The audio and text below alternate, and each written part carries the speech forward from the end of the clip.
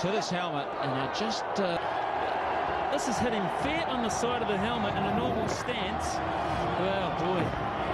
And back onto the stumps. The question is the height, and this is all you can consider. It's gone above shoulder height and hit him about the ear. And he's going. Adam Ferrari's on his way. They've had their chat, the umpires, and they've decided. Now that's gone back onto the stumps. It's ripped the strap open, broken the. Hit him on the back of the helmet. He's down. Chanderpaul is floored.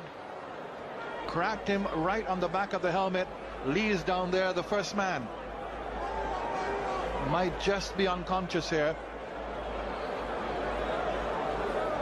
Cracked on the back of the helmet. He went down.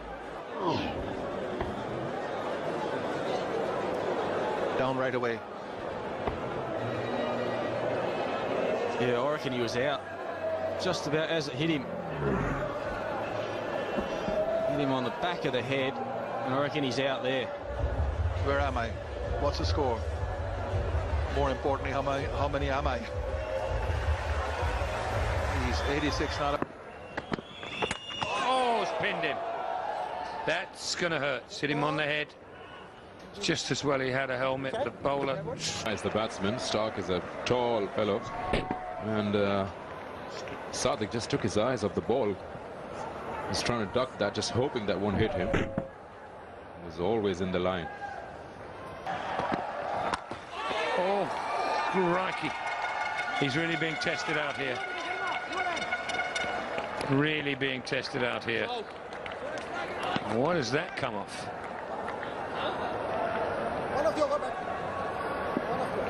Everybody's walking around. It's just as well this lad was. Wear a helmet. Where's this come from? Yeah. It sounds like glove, helmet. But it doesn't stop him advancing down the wicket.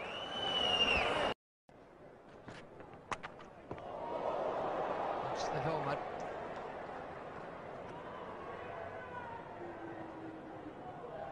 Gap, I think. There's a gap there so the batsman can uh, see the ball. Sometimes because they're wearing helmets, they don't uh, keep their eye on the ball so that they can duck properly. to be going back. That probably, the, the angle then of the helmet gave it the opportunity to get through the gap.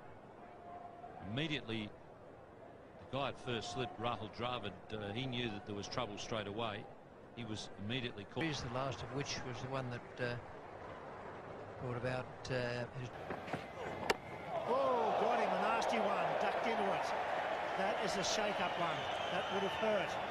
The bells have been ringing. Thank goodness for the modern helmet. He's not feeling all that well.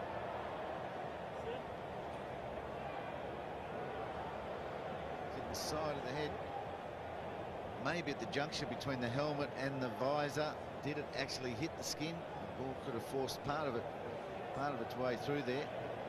Won't that be huge if we could get that on super slow-mo extreme? That will be ugly. For 62, the West Indies have got, I think, 62 runs. It's been a bonus. We shouldn't waste this good work that's been done. We're already at 62 after 12 overs. Even if New Zealand had batted better and shown better process and better technique on that first day, there probably still would have been a result in that game that might have taken four and a half days. Oh! Hit him. Oh! Dead ball. He's down. Hopefully all right. Didn't quite bounce. It's got him in the side of the helmet. I think it's knocked him around a little bit. Yeah, he's got to take a moment or two here. In fact, they might take an early tea here. They might just take an early tea, and I think they've got reason to do that. That was nasty. That was really nasty, and I'll tell you of that on his head. Back of his head.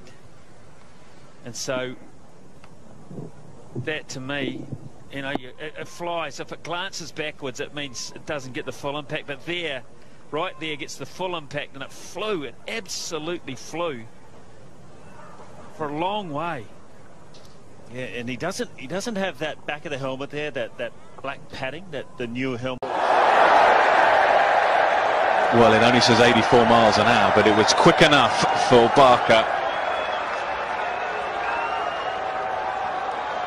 Well, he's worn one there, Keith Barker.